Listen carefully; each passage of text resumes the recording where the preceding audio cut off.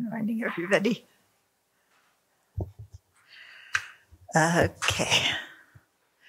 So let's start with a few minutes spending time uh, with the merit field and taking refuge in them and spending time at, uh, with all the sentient beings, leading them in taking refuge and generating a bodhicitta meditation for uh, motivation for them.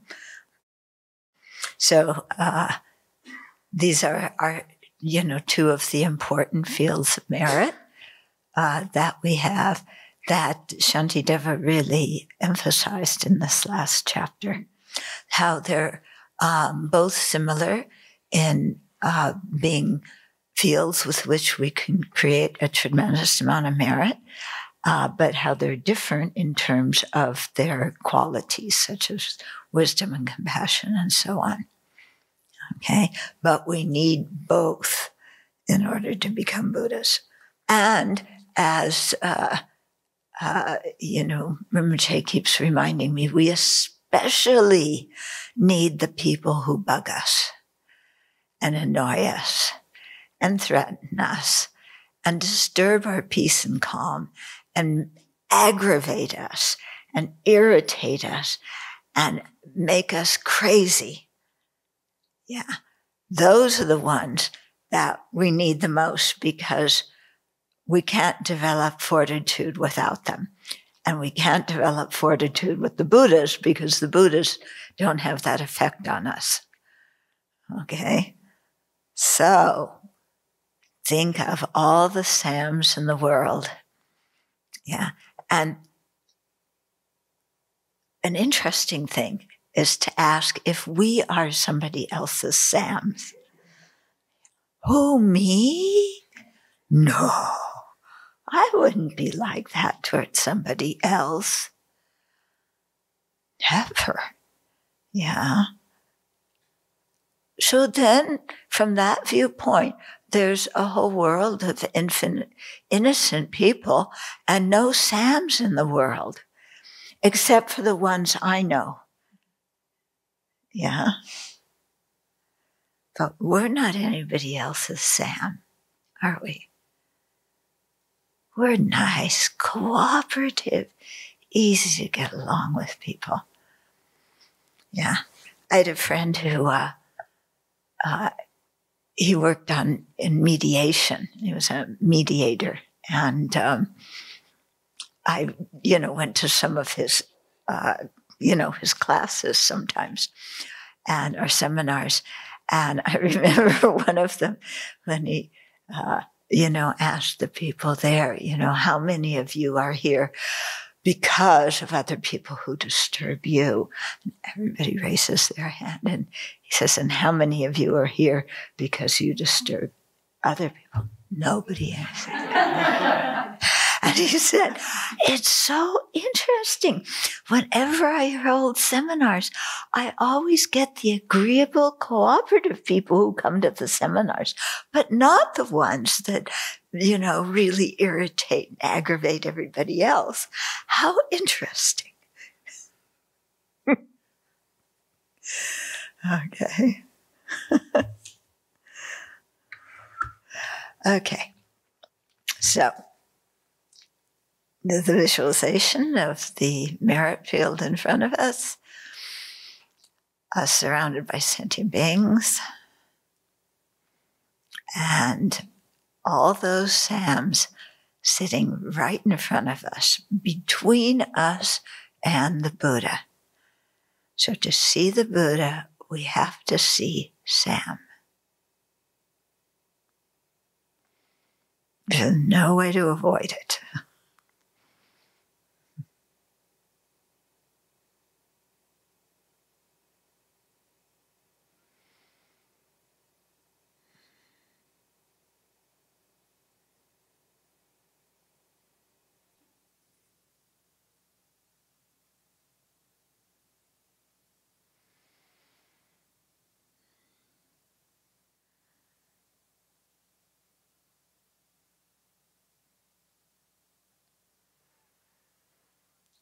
So that's generator motivation.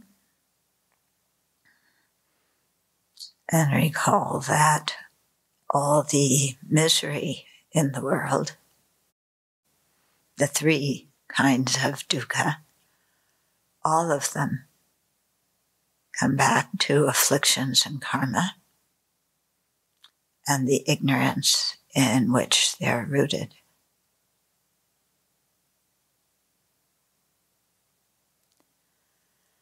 So we have to be completely clear in our mind. Yeah, ignorance, afflictions, karma are the source of our misery and our confusion and our wandering in cyclic existence.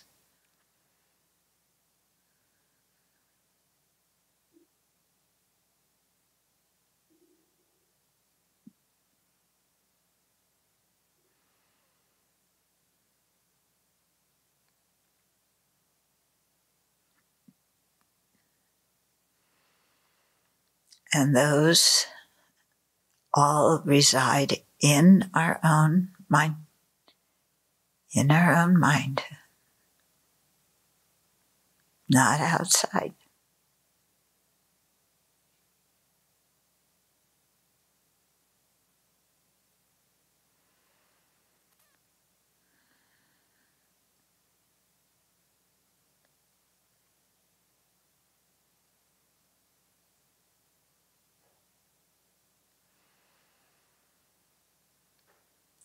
And so, if we want happiness, the solution is to change our own mind. It's not to try and make other people do or not do what we want or don't want them to do.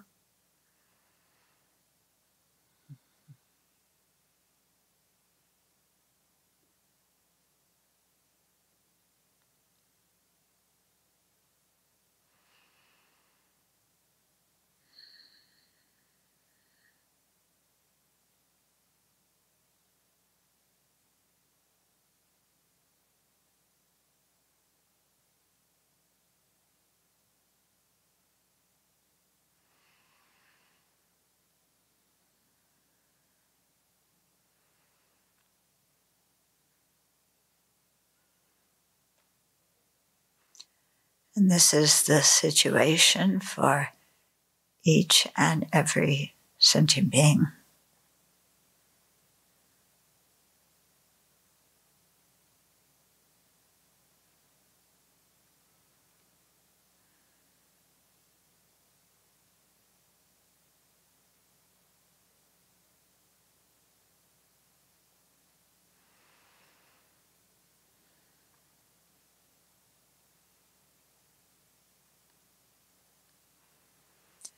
So rather than compete and quarrel with other sentient beings, it makes more sense to cooperate so that we could all arrive at the other shore of nirvana.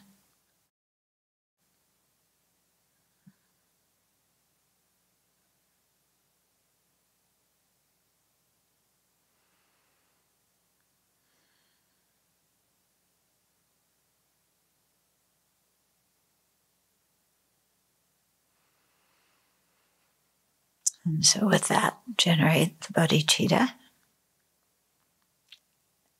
as our heartfelt motivation to learn the teachings so that we will know how to put them into practice properly.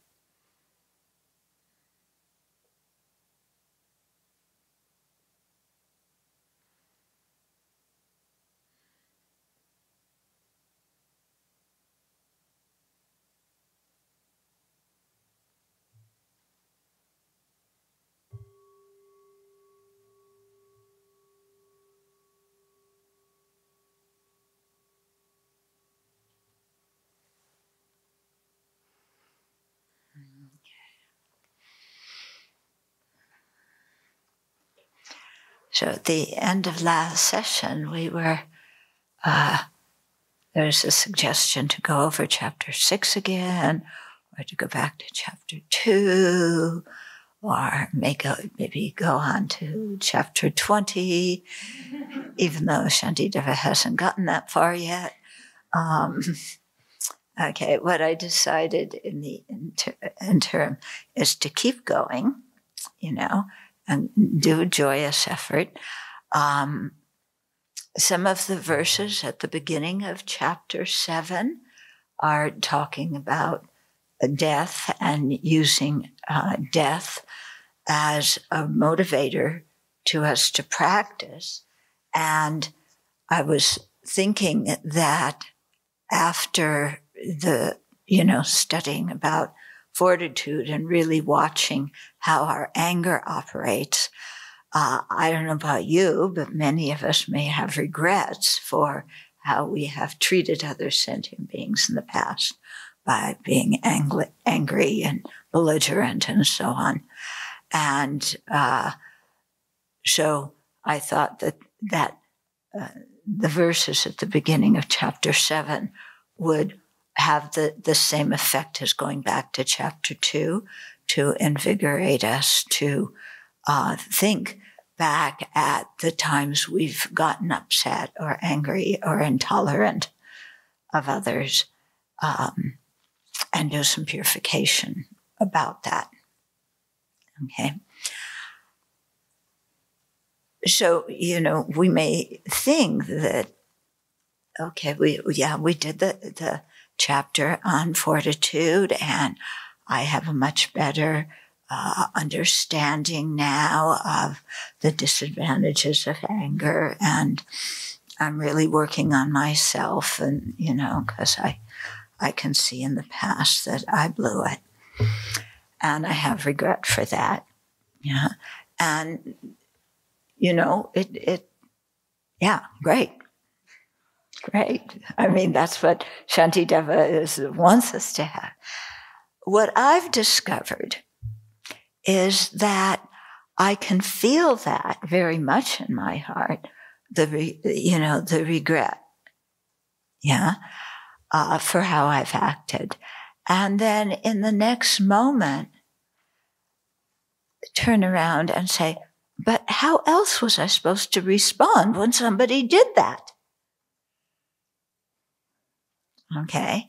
And so from one moment to the next, I go from, okay, yes, getting angry, you know, it's a defilement, there's all these disadvantages, to right back to the usual samsaric way of thinking of, but I had no choice. Any sane sentient being would get angry at this. And if you don't get angry, you're going to get walked all over. So how else am I supposed to act when this idiot does this? Okay. Uh, do you have that go on in your mind? Yeah. A couple of you look so innocent and sweet. How nice. Yeah. But if we look, you know, we could go from one moment to the next to, but there's no other way to respond when somebody harms me. Yeah. There's no other alternative. Yeah. There is only a one way street when somebody harms me, there's only one way to go, and that is getting angry. Yeah. And putting them in their place or getting out of there as fast as I can. Yeah. There's no other choice. And that is very deeply rooted inside of us. Yeah. So we go through all the arguments and we make some progress with the arguments. But when push comes to shove, yeah, when they push us, we shove back. okay? Out of, out of the force of familiarity. And and we have our reason. You know, it's not just familiarity. We can't just say, oh, I do that and it's a habit. We can't just assign all of our negative actions to, well, it's just a habit, so I have to break a habit. No, because there is a reason in our mind why we think that behavior is good. Yeah. It's not just habit. There's some reason going on. Okay. Yeah, you think we're stupid. We're not stupid. We have reasons for everything we do. It's just our reasons are stupid. okay. But we have those reasons and we have to ferret out those reasons and really look at them and see how stupid they are and how counterproductive they are. Yeah. And so, you know, one of the reasons is, well, how else am I supposed to act? There's only one choice. Yeah. And that sounds like a very good reason because most people, i.e. our friends, would agree with that reason. People who aren't our friends would not agree with that reason, but that's why they're not our friends. Okay. But our friends would agree. Yeah, there's only one way to act in that situation. And this is what you got to do. Yeah. And we are so much influenced by what other people think about us. It's just amazing. Yeah. I, I was reading something. I can't remember what it was, but somebody was saying that more than ideology influencing us, it's what our friends and what other people in general think that influences us. Okay. So we're not always influenced so much by the ideology, but by, well, everybody else believes that. Everybody else is doing that. Yeah. Everybody else thinks that. So if everybody else thinks that, then I don't need to use any analysis. I don't need to use my wisdom. Everybody thinks like that. Everybody does that. It must be right. Yeah? Okay. So we never really ask ourselves, why you know, what's the real reason for doing this? I said, well, everybody says you do things this way. Yeah. And so much of our life is pre-programmed, isn't it? Yeah. You get born. Yeah. And you play and then you go to kindergarten. Maybe you go to preschool first, then you go to kindergarten. Then, you know, you finish high school. Then in some families, you know, your life is already pre-planned. You go to college. There's no choice about that. And some, then you also go to graduate school and you, whatever it is, you graduate on Friday. You start work on Monday and you work for the next, what is it, 50 years? Something like that. And, uh, then you, uh, retire uh, with dreams of going to live by a golf course, but you're too old and, you know, sick to actually do that. And, and then you die. And that's what everybody does. So you don't need to think about doing it. Yeah. I mean, what do you, there's, they, they say that there's certain stages of development that we go through, you know, ways, certain stages of emotional maturity. Well, yeah, there's station, you know, progressions of stages of emotional maturity, but a lot of the way that they get acted out is because that's what everybody does. Yeah. Yeah. So it's the same with our anger. Know, everybody thinks like that. Everybody acts that way. So, yeah. I don't need to think about why I do because everybody else does. Okay. So that is, that is a tricky point for us. Yeah. Because to really resolve these things that we drag along with us our entire life, issues of resentment, you know, from whatever happened in the past. We drag those things along our whole life.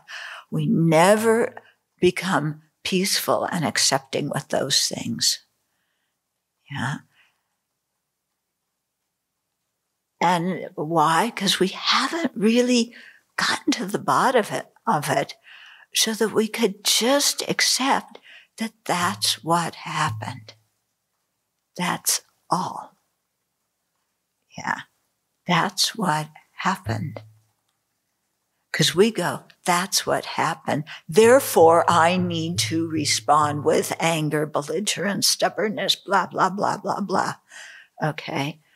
And to just get to the point of that's what's, ha- that's what happened. And it involves these sentient beings who are just like me with minds overwhelmed by ignorance and afflictions. Yeah. So what's the purpose of blaming people? Yeah. Who am I trying to impress when I blame somebody else instead of being accountable myself for what I did? Yeah.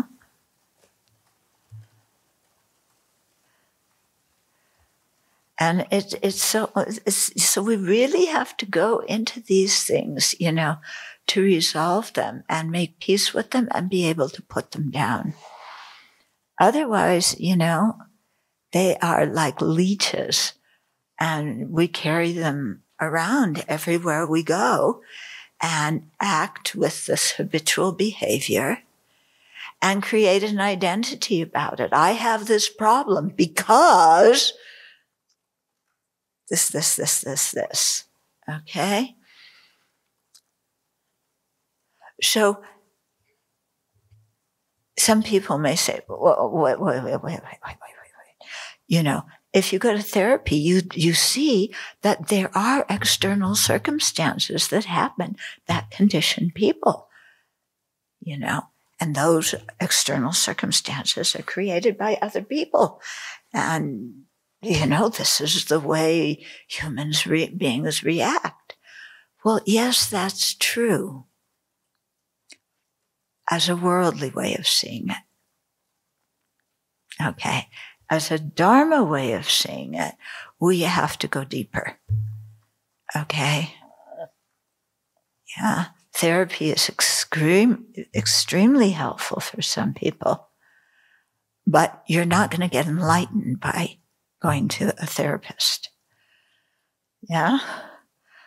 So this kind of really digging in there and like, what is going on in my mind? Yeah. Okay. And then owning it. And then so often just being able to sit there and go, that's a really stupid thing to hang on to. you know? Or that's a ridiculous way to think. And not, and saying that to ourselves in that tone of voice, not, that's such a stupid way to think.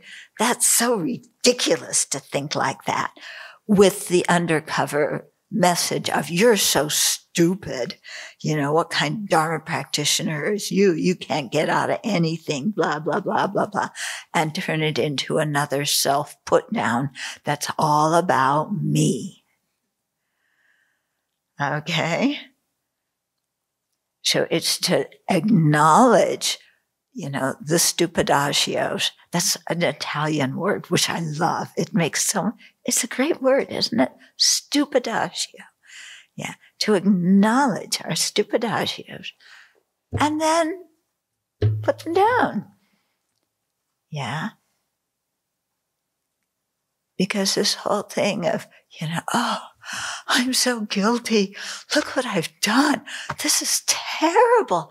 How am I ever going to get over this? Oh, I can never purify enough. Nobody else has ever, you know, done something like this.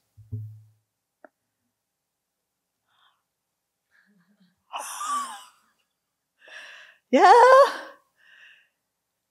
Another way to, to exaggerate our own importance. Yeah. Really. It's such a narrow way of thinking, isn't it? It's like this. You know, the, the way of thinking, well, I've got to be like this because everybody else thinks this way is extremely narrow. You don't give yourself any options. And the way of, I'm so bad, I'm so bad, there's, there's, I'm irredeemable. That's equally as narrow. Yeah. Don't you think? Yeah. I mean, there's this whole wide world and many ways to look at a situation. And, and we choose really stupid ones. yeah. And everybody else does too. So how can we be mad at all these people? Yeah. If they were Buddhas who were acting like worldly sentient beings, it would be one thing. Like, hey, you're a Buddha. You're supposed to act better than that. Okay. Then you, then you could blame the Buddha. Okay. Like, hey, Mahakala, you know, all this wrathful stuff. You're just angry, trampling on everybody, you know, who impinges on the Dharma all the time. Cut it out. You know, you should be more like Chenrezig. You know, like, are we going to, you know, actually, uh, uh, we don't, there's nothing to blame for Buddha, okay? Yeah, there's, we can't blame the Buddhas for anything. But what, you know, we, we want to blame Buddhas for, for being sentient beings and uh, worldly sentient beings. Yeah. But when worldly sentient beings act like worldly sentient beings, why do we say you guys should act like Buddhas? Yeah. I mean, expecting them to act like Buddhas is really a bit too much. Yeah. So when other sentient beings do what they do, yeah, that's just sentient beings do what sentient beings do. And our choice is whether we're going to get annoyed, irritated, enraged, you know, stubborn, revengeful about what they did. But what they did is just what sentient beings do. And we may say, but it's so terrible. It's so dishonest. There's the 10 non virtues and they're breaking all those non virtues I mean, keeping all those non virtues and it's affecting me and they should stop doing that. Yeah, says the pot to the kettle. Yeah, says the guy with a glass house to the ones who, throw stones. You know? So it's very interesting to try and catch ourselves. Yeah. When we're, we're just doing a repeat that doesn't get us anywhere. And then we go, but if I accept it, that means it's okay. Yeah if I accept the horrible things people do to other people, you know, then it's okay that they do that. Okay. Now look at, look at that argument. What's the reasoning behind it? Yeah. If I say it's okay, then it, you know, if I accept it, it must be okay to do it. Yeah. If I accept that this is the way sentient beings act, that they lie and steal and these things, yeah. If I accept that, then I'm saying it's okay for anybody in the world to act like that. Is that reasonable? If I, if I say somebody's misdeed is okay, if I just accept that that happened, that then it means I'm giving permission to everybody to do it.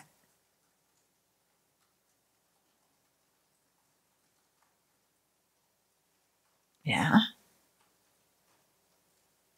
Is that true?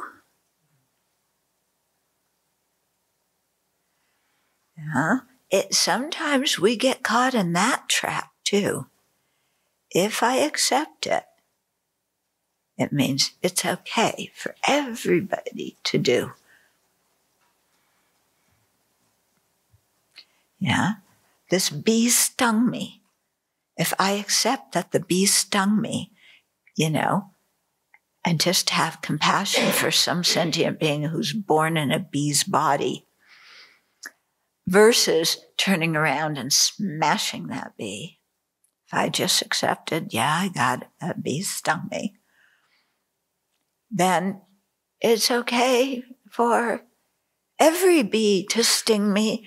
And it's also okay for people to bite me and for everything else. No, we're not saying that. Yeah. When we accept something, we're accepting what is in this very moment. We're not accepting that, th- that it's fine to keep going on in that direction for anybody, including myself You know, in, in the same way, if, you know, if I accept my bad behavior, then, you know, and don't beat myself to death, then uh, I'm, I'm going to do it again. And I'm saying to myself, it's okay if I do it again. Yeah. So you see, there's some reason in there, but it's a very faulty reason. Why does accepting what exists now mean that you don't have to be try and do things better in the future.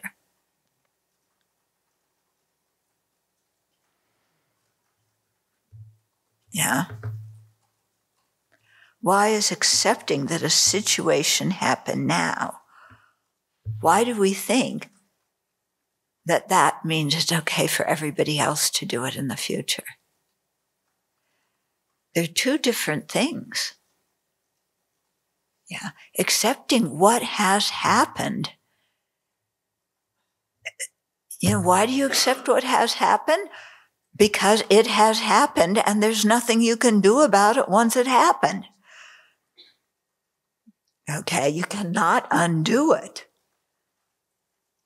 Okay. So if you accept it, then there's a chance not to get stuck in all the emotions about how it shouldn't have been that way. But just saying that happened, I accepted that happened, does not mean you're giving yourself or anybody else the okay to do it in the future. Yeah.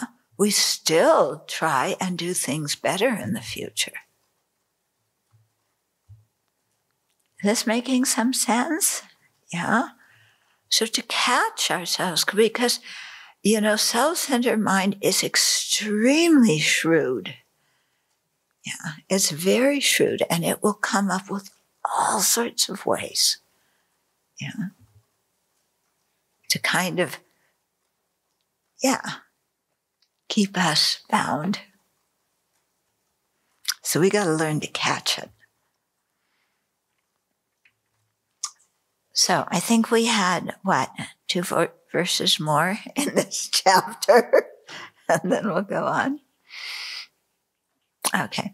But 131 and 132 are very much emphasizing that a king, a powerful person, yeah, who usually, you know, we're like, we have all sorts of reactions to somebody who, who's in power. Um, many of them deluded reactions. Uh, but a king cannot harm us the way the guardians of hell harm us Uh, as a result of our negative actions. And a king cannot grant us Buddhahood like our own virtuous actions can bring us to full awakening. So, what it's getting at is worldly power is not so powerful. yeah, it might be powerful in this world, but it doesn't last forever and it's extremely limited and it is no match for karma. Yeah. So you can uh, avoid getting indicted. You can avoid all these kinds of things, but there's no way to avoid uh, experiencing the results of our own actions. Okay. Then 133. Yeah, so this is this whole previous section is all about how we should value sentient beings because they're so necessary for our own enlightenment. Yeah.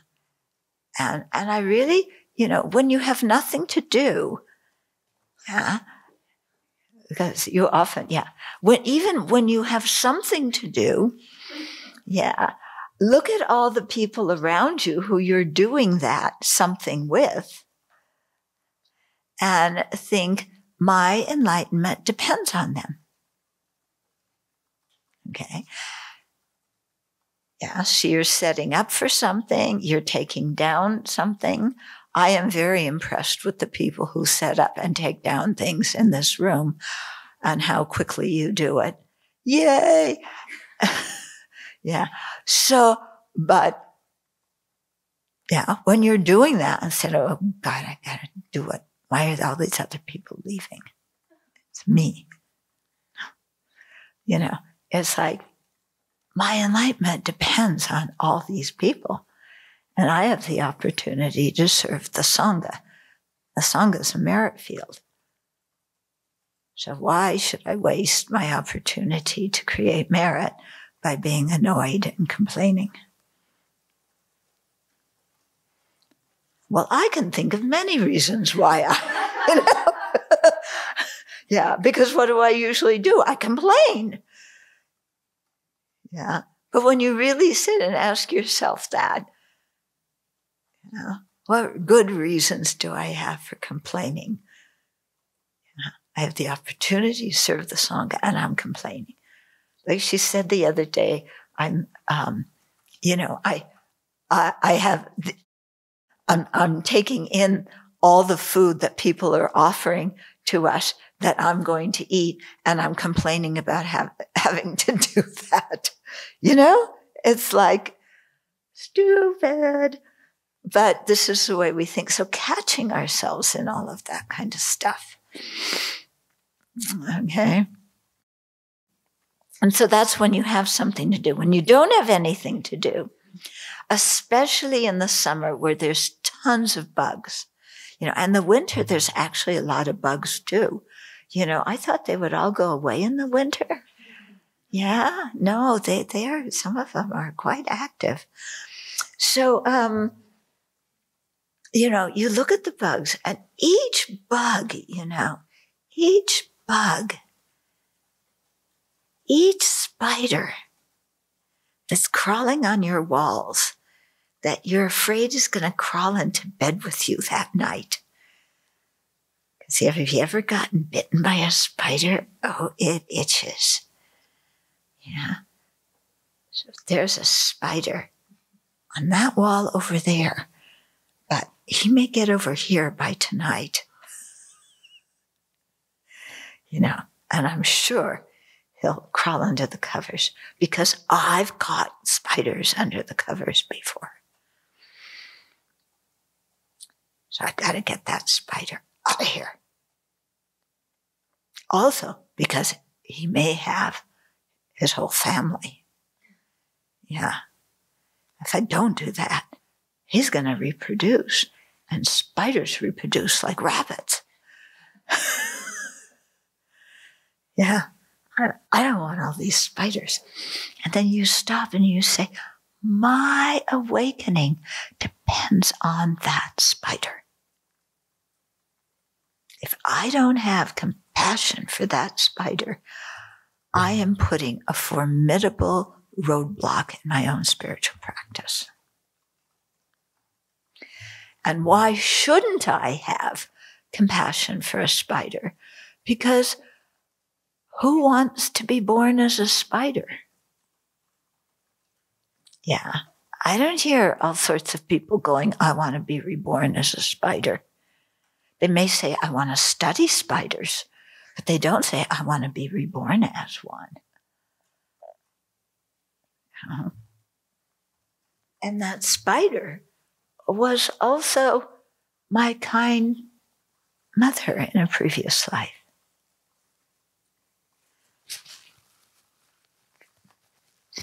So one of my friends told me a story. He was quite close to his nephew. My friend lived in India. It's the same one who slipped on the fruit going down the street. And uh, he was very close to his nephew. And I don't know what happened with his nephew, but his nephew died. I think it was his nephew, unless it was his uncle. Anyway, it was one relative that he was very close to. Yeah, had died. And so he, you know, he's living in India, in Dharamsala. And in Dharamsala, yeah, they have really big spiders. I mean, you know, really big, like this big spiders. Okay. I'm not joking. Yeah. I mean, they have a small thing, but they're these, and I tend I want to say tentacles, but they're not tentacles. They're arms and legs. Okay. Huge. And they can contort themselves to go around anything. There was one who kept coming in our room through, we were fortunate to have, they put a washing machine in our room or a dryer or something. But the spiders would come in, these enormous spiders would come in through the exhaust pipe for, from the dryer. Yeah. And you don't want to meet when you're going to the bathroom in the middle of the night or even in the daytime. You don't want to bump into one of these guys in the bathroom, you know, which is how they entered. And uh, they really liked the bathroom. They would come out into our room when they got bored with the bathroom, but they liked the bathroom, you know, and you're not sure where they're going to be hiding when you go in. And uh, so, okay, so my friend was in his room after his relative died. And uh, one of those spiders showed up in his room. And his instant reaction was, you know, it's a combination of fear and I can't stand it, get it out of here. Yeah. So fear and repulsion and anger, you know, I got to get it out of here. And then he told me he thought, what if that spider was the next life of my close relative who had just died? What if my uncle had been, was, had been born as that spider? And he said when he had that thought, his whole feeling mm. about the spider changed. Yeah. Interesting, isn't it? As soon as that, that thought came of this was somebody who I was close to in the past, then he couldn't hate the spider. So, you know, when, because, you know, after we, we love that it's getting a little bit warmer now. Okay. But for those of you who haven't been here in the springtime, Guess who comes in the spring? It's not Santa Claus. it's ticks. Okay? Big ticks. We don't have the little microscopic ones. We just have the big ones, you know, and they bite you. and it itches for like a whole week or something. It's really, it's like, when is tick season going to be over? Never, you know. But to think every time you find a, a chick, a chick, a tick, you know, crawling on you, you know, this was my kind relative. This was my best friend. You know, what a pity that they were born as a tick. Yeah. And may I never create the karma that would make me get born like that. Okay.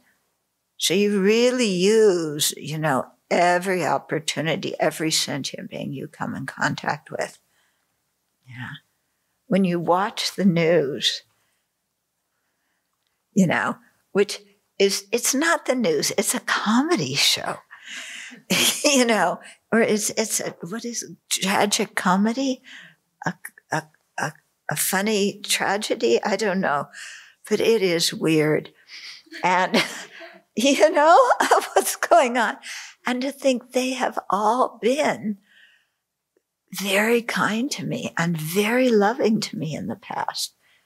And look, they were born in these roles especially where they have a lot of power and so little wisdom and so little ethical conduct.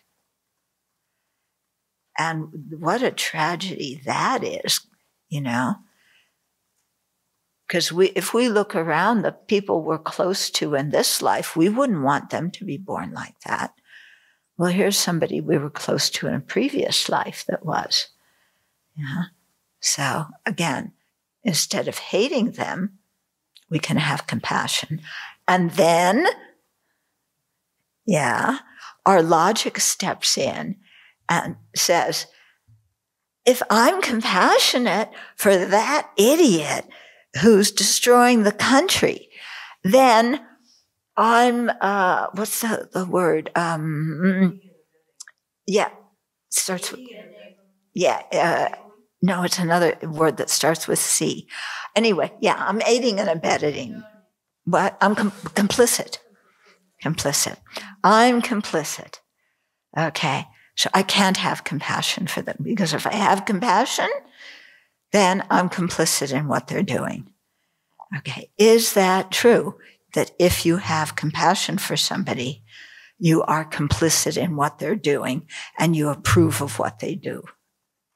Do you have to approve of what somebody's doing to have compassion for them?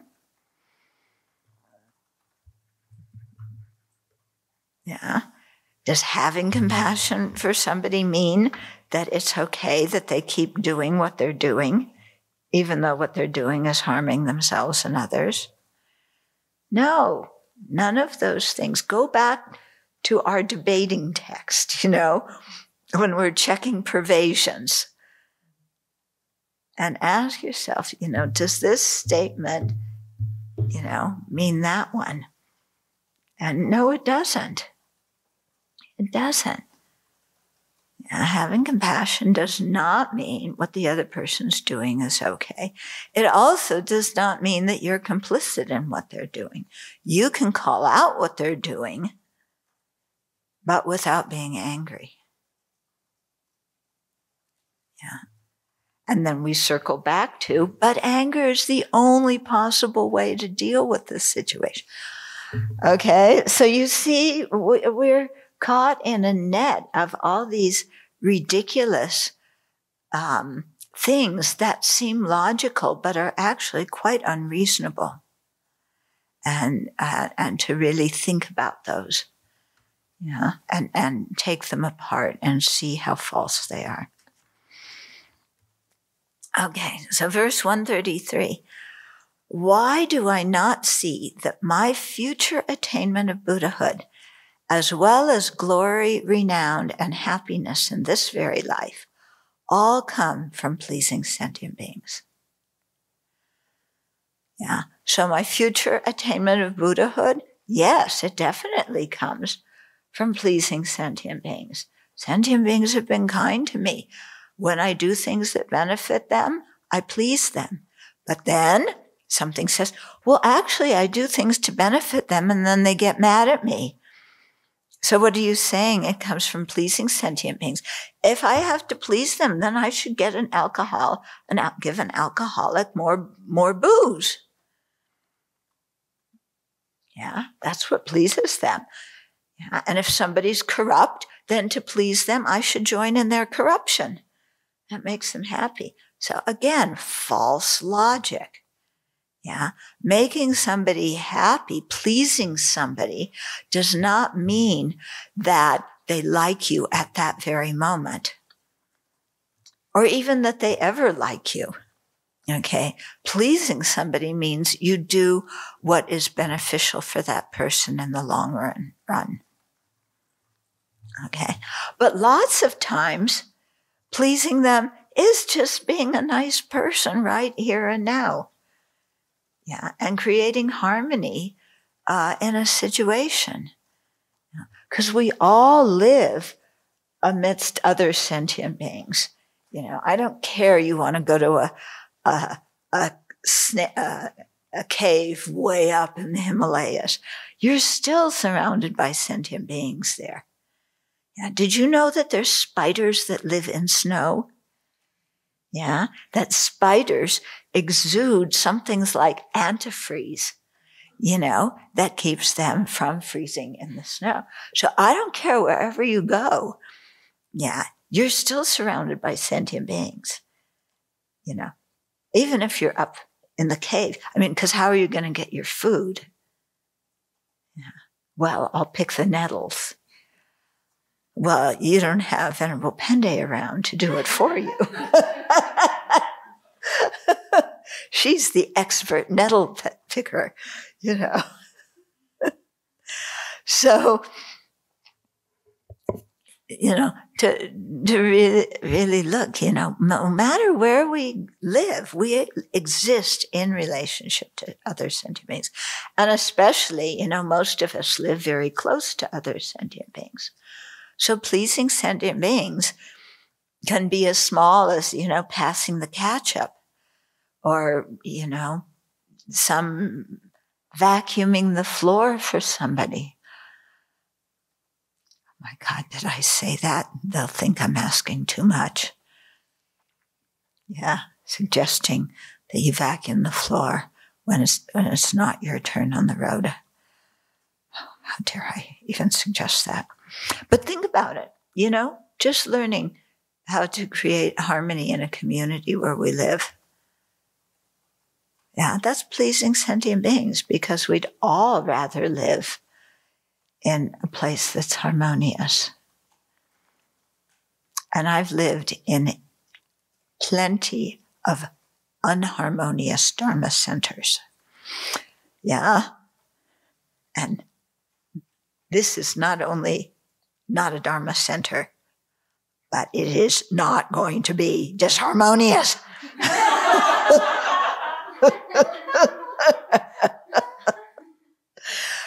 because if it is, all of us are going to go away. And then the spiders will have it and the ticks. Yeah. They'll be dancing here. Yeah. Okay. So future attainment of Buddhahood comes from pleasing sentient beings. And glory, renown, and happiness in this life all comes from pleasing sentient beings. Okay, happiness in this life, yeah. But do you want do you want glory and renown? You know, I think you have to really be a bodhisattva to really want glory and renown. Yeah. Why? Because you have so much pressure on you from being famous. Yeah. So many people have their ideas of who you are and what you should be and how you should act and what you should attain. And that you have you're, you're like this with everybody's peer pressure. Yeah. Now you might think, but being a Rinpoche, you know, okay, yeah, it might be nice to be a Rinpoche. Then I get to sit up front and I'm near all the other Rinpoches and people give me tangerines and pears and they all go like this when they're near me and bend over. And, you know, yeah, being, being a Rinpoche, then I'm kind of the boss. Yeah, I can tell people what to do and they'll do it and they'll really respect me. You, if you think like that, you've never been a Rinpoche. you've never even been in a leadership position.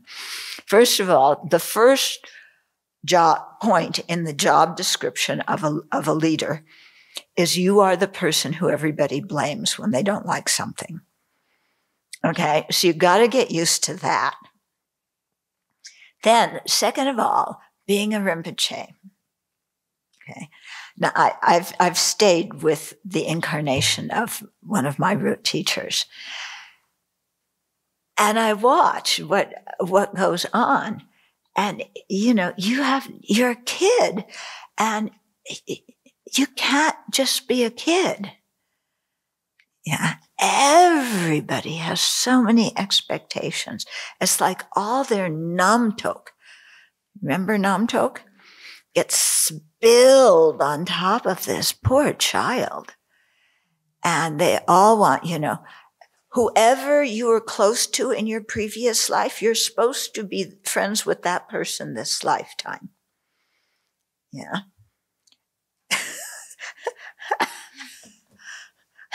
and people who you weren't so close to in your previous life, you know, whose views you didn't agree with, then again, this lifetime, you're, you're not close to them.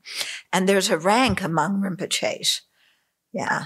There's a definite rank. And so dependent on your place in the rank, you can, you can go, you must go to visit the Rinpoches that are higher than you. But you cannot go to visit the Rinpoches who are lower than you. Yeah? So if you're friends with a Rinpoche who's lower than you, you can't just go over to their house and no, no, they have to come to you. Okay. Anyway, I won't go into all of it, but but renown and glory can be very confining. Yeah, you don't have personal freedom just to, you know, can you imagine? I, I mean, I could tell you, you know, when when Serkong Rinpoche walked down the street, what happened, but I mean, you know, all these people come and it's like he's just trying to walk down the street. And these people are like, you know, they want hand blessings, you know, where they touch. Yeah. And they're doing it out of faith. It's really sweet. I mean, the de- faith and devotion of the Tibetans is just remarkable. Yeah. But he can't even walk down the street and look at things and just, you know, be casual. He's always has to be on. And His Holiness Dalai Lama, forget it. He cannot walk down the street. There's no way. Yeah. First of all, there has to be the Indian guards. Okay. You have to have a security detail. And I mean, everybody, they, they would just, he couldn't move. Everybody would just swarm around him. He couldn't even take two steps down the street. Yeah. So his the palace area where he is, you know, he he can't just say, "Oh, I feel like taking a walk," you know, see what people are doing in McLeod today. You know, he's stuck there. And to me, when I look at that, what an incredible sacrifice to you sacrifice your personal freedom to be an important person. Yeah. Now he has the compassion that is willing to sacrifice like that for the benefit of sentient beings. I don't, you know? So for me to, to think about, you know, glory, because glory and renown, it sounds good, you know. And I remember, oh, when I was little, I wanted to be famous, you know. It's like I wanted to sing and dance and, you know, because fame was good. Fame means that a lot of people liked you. And of course, I wanted people to like me. So that means, you know, I better be famous. And I wanted to be famous. And, you know, I'm so glad I grew out of that. You know, it's really, it's, I don't think it's worth it. Okay. Uh, so you see, yeah. So there, in, in terms of the Dharma, there's some very, very famous teachers. I mean, like His Holiness or, you know, whatever, very famous teachers. And they teach a huge number of disciples, but it's very difficult to have personal, uh, a personal relationship with them, especially to have uh, practice instructions, personal practice instructions. I have two friends who have that kind of relationship with His Holiness, but it's extremely rare, you know, and they are not at all. They don't. They other people don't know about it, except the you know. So then you have other teachers, you know, and I have other teachers, you know, I mean, some of my teachers very famous and some of my teachers you would never notice in a crowd. Yeah. And they, they go to, you know, to the bazaar and they'll buy vegetables when they need to and they'll do the korwa around, you know, the hill and nobody notices them and they are incredible practitioners. And what's really nice is you can go and visit them in their room and ask a lot of Dharma questions. And they have the time to sit there and answer your questions. Yeah. The very important teachers, they don't have the time to do that. Yeah. Because, you know, every Losang, Dechen, and, and Tashi wants to come see them. But the teachers that are not so well known, you know, that what you see is that everybody has their own way of benefiting sentient beings. And it's not imperative to have glory and fame to benefit sentient beings. Okay. When they talk about different, there's seven special conditions of, uh, of not just a precious human life, but a super precious human life. And one of them is, you know, being born in a renowned family or being wealthy and so on. And the idea is if you're wealthy, you can do a lot of good works for other sentient beings. And if you're from a very famous family or in India, a high caste, then people will respect you and that gives you the opportunity to benefit them because you're respected. So yes, having wealth having, you know, being of high social class, you can use that to benefit others. Yeah. So that's one reason for having them. But just to say, as well as glory, renown, and happiness of this life, and then you sit and visualize yourself as having glory, renown, and happiness, you know, like that, and your mind's very worldly. That kind of glory and renown is, you know, besides being a big trap for Dharma practice, um, you really have very little space in your life. And, and if you really want to benefit sentient beings, you look, I mean, every teacher has their own style and they all are able to benefit because sentient beings have such a variety of karma. They all benefit different sentient beings. And even to one sentient being, they benefit that person in different ways. Yeah. So it, uh,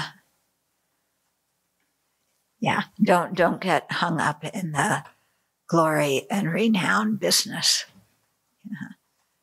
Because, um, yeah, I mean, if you think about it, even right now here in this life, if your friend has a problem, yeah, is His Holiness going to be able to come and help your friend with their problem? No. Are you going to be able to help your friend? Yes. Okay. So right here and now, you know, we don't have to be famous. We don't have to already be Buddhas to be of benefit. We have to uh, benefit what's right in front of our nose at that particular moment. Okay. Instead of, you know, oh, this would make a great skit, you know, Superman Bodhisattva flying in. Oh, you have a problem. You know, what is it? It's a bird. It's a plane. It's Superman. And then you fly in and everybody faints because Superman, Super Bodhisattva is here. Okay. Super Sattva. Yeah. Super Sattva has arrived. yeah. But uh, no, we don't have to be super sattva. You can be very, uh, very discreet. Yeah, very low key. And and uh, yeah, I don't know about other people, but for me, the people that uh, seem to be a little bit full of themselves. I say seem to be because I don't know if they are or not. It's my projection. But that kind of thing doesn't impress, it impresses me the wrong way. Put it that way. Okay. Then we'll do our second verse for the day. okay, 134. While in cyclic existence, fortitude causes beauty, health, and renown. Because of these, I shall live for a very long time and win the extensive pleasure of the universal Chakravartin kings. So I think verses like this, where they talk about the benefits in this life, we also have a couple of verses in the Pratimoksha that talk about the benefits of keeping precepts in terms of, of what you get this life. And I think those verses are designed for two kinds of people. One is the person who, uh, who wants that kind of stuff. And so by their knowing that they can get that in this life, it inspires them to practice.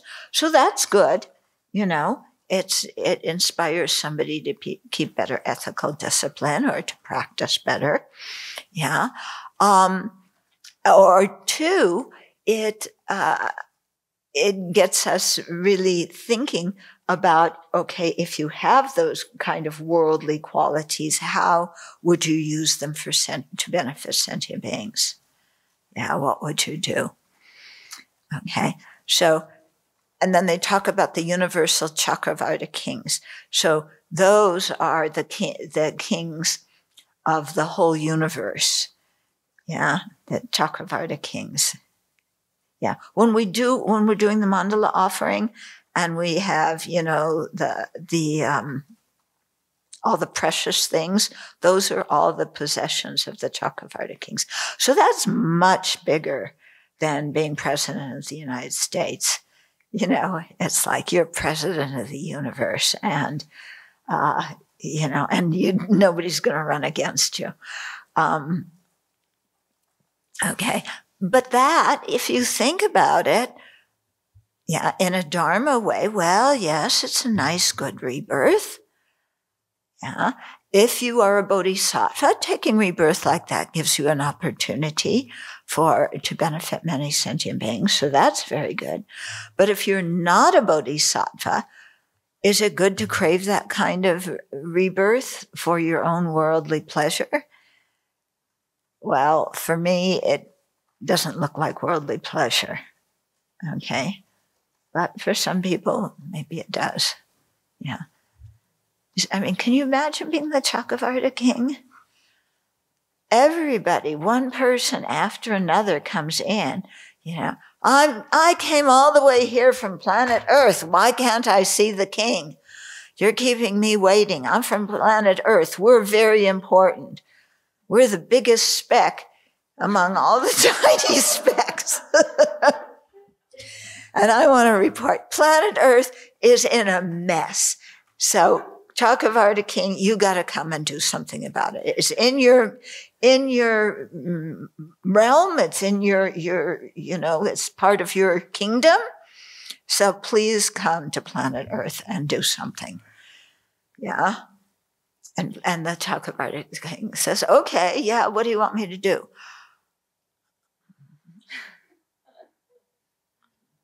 Yeah. What do you want Chakravarti king to do? How's he going to fix everything on planet Earth?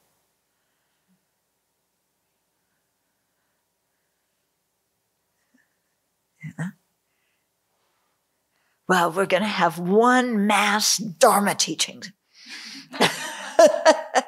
we're going to build a big platform in the middle of the Pacific Ocean so everybody can sit on one platform and nobody can leave the teaching. yeah. And then we're going to teach them all the Dharma. Hmm. Okay. Okay.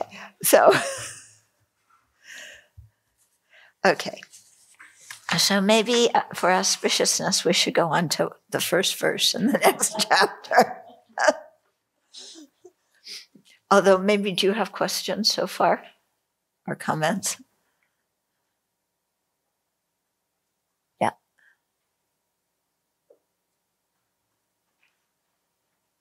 Um, someone online is asking um, if I'm a, if I'm unsuccessful in persuading someone to think with reason.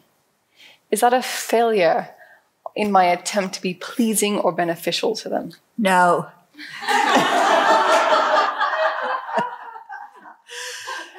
yeah, because what are you going to do? And what, what's the alternative? You've tried to help this person and get them to think in a reasonable way. And, you know, they're locked into their own, their own way of thinking. Does that mean you're a failure? No. You did what you could and, you know, you can't do what you can't do. What is it? You can't, uh, get oil from sand. So you're not a failure it's this is one of the situations that you have to accept you know. And the thing is keep the door open so that later if that person starts to think in a different way that they feel they can come back to you and ask for help. Okay.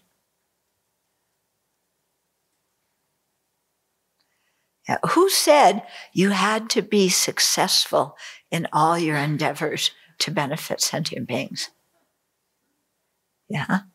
The Buddha, all the Buddhas, infinite, countless Buddhas have been trying to lead us to awakening since beginningless time. Have they been successful?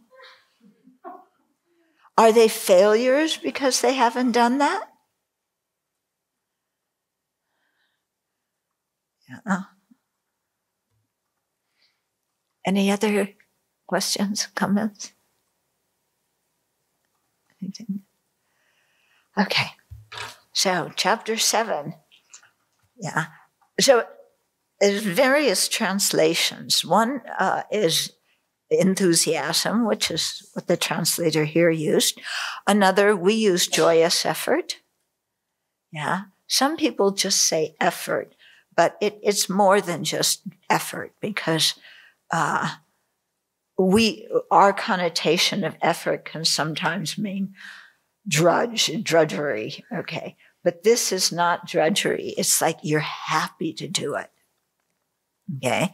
So what it's getting at is when we practice the dharma we should be happy to practice the dharma. Yeah? Instead of oh god.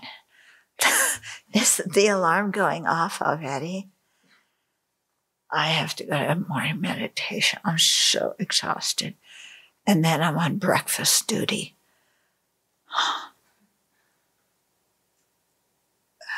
This is too much. Okay.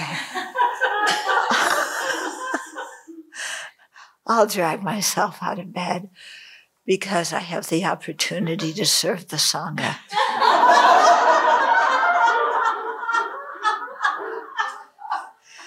Yeah.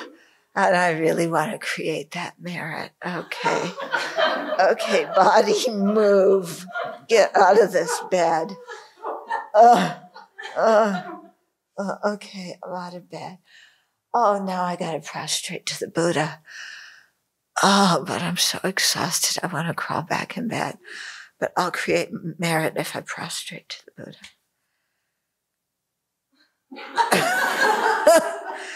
so you do that and you get down.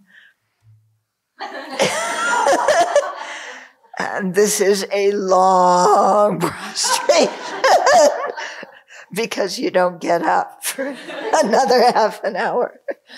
When I lived in when I lived in Kopan, there was um, there was one monk, and uh, and you know we had morning meditation. We all had to go to, and uh, he was late one morning. Why are you late? And uh, well, I prostrated to the Buddha, and I got down, and then I fell asleep. so yeah, and I didn't wake up until medita- morning meditation had already started. Uh, that was a good one, I thought. yeah. Okay, so it's it's not that kind of effort.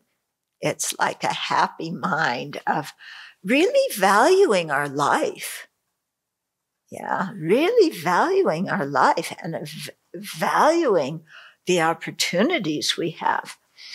And this comes from making that radical shift to having a Buddhist worldview. Because as long as we hang up, hang on to the world, the worldly worldview, then so many things are just miserable. When we, our mind, the more it really becomes familiar and really believes in the Buddhist worldview, then the happier we become to do these things because we're happy to create merit. We want to become a Buddha to benefit sentient beings. Okay? So that's why it's got to be joyous and enthusiastic and not drudgery. So, having fortitude, I should develop joyous effort. For awakening will dwell only in those who exert themselves. Just as there is no movement without wind, so merit does not occur without joyous effort. Okay? So, yeah, awakening dwells only in those who exert themselves. Yeah? So it's it's not like, oh, okay, I'm a Buddhist now. I've done enough. yeah, I, I, used to be a whatever, you know, and now I'm a Buddhist. That's good enough. Yeah. Well, yeah, that's good enough, depending upon what you want to get out of your life. Yeah. But if you want to be awakened, then, uh, you know, you have to have this joy in your practice. Okay. And so there's no movement without wind. Yeah. So this is good to think whenever we encounter windy days. Yeah. Instead of how many trees are going to fall over that we have to saw how many paths are blocked that we're going to have to free, you know, because of the wind. Instead of thinking that, think, you know, no move, just as no movement occurs without wind. Yeah, so merit does not occur without joyous effort. Yeah? And so then, oh, look at the opportunity I have, you know, and look at all these sentient beings around me that I get to practice with and that are objects of me benefiting. Okay. Oh, so another very important thing about uh, pleasing sentient beings is pleasing sentient beings is very different from being a people pleaser. This has to be extremely clear in the mind. They're two different things. Yeah, pleasing sentient beings, you're doing with a motivation to benefit them. Being a people pleaser, you're doing with a motivation so that people will like you and approve of you. and you don't get blamed. Okay? So they're two completely different things. Yeah, don't confuse them. Because many people are people pleasers, but they think they're pleasing sentient beings. And granted, they often do things that are very nice for others. Yeah, so that's nice. But the motivation isn't real clear. Yeah. Or they do things to help others and they become Mr. or Miss Fix It. Because helping others means I'm going to have my nose in everybody's business and I'm going to fix all their problems. And then they're all going to love me for it. Okay. Yeah, we have a few people pleasers here. Yeah. Who's a people pleaser? Yeah. Oh, I'm not, as you can see. yeah, you want me to please you? No way. okay. But being a people pleaser, I mean, you run all, we had a great skit about being a people pleaser. We should do that one again. Uh, it was great, you know, what, what people pleasers do. And sometimes they can be such a nuisance. Yeah. Because they're, they're tripping all over themselves to please you. And you just want to, you know, do what you're doing. Okay. And then they please you, and then they're, they're waiting for the payback. Yeah. Yeah. It's like, and we often have this motivation, you know, okay, somebody needs that help. I'll help them. Then, when I need a favor, I got them. They'll feel obligated to help me. Or I help them, then they will praise me up and down and across of how kind I am, you know, helpful I am, wonderful I am. I wouldn't mind that at all. Yeah. Or they'll praise not just how kind I am, but how wise I am. Because I arrived as super sattva to, to fix their problems. I gave them just the perfect advice they needed. And now they're forever grateful to me. You know, you have your big S for super sattva. Yeah. okay, so they're very, very different. Mm-hmm. Okay, any other questions or comments?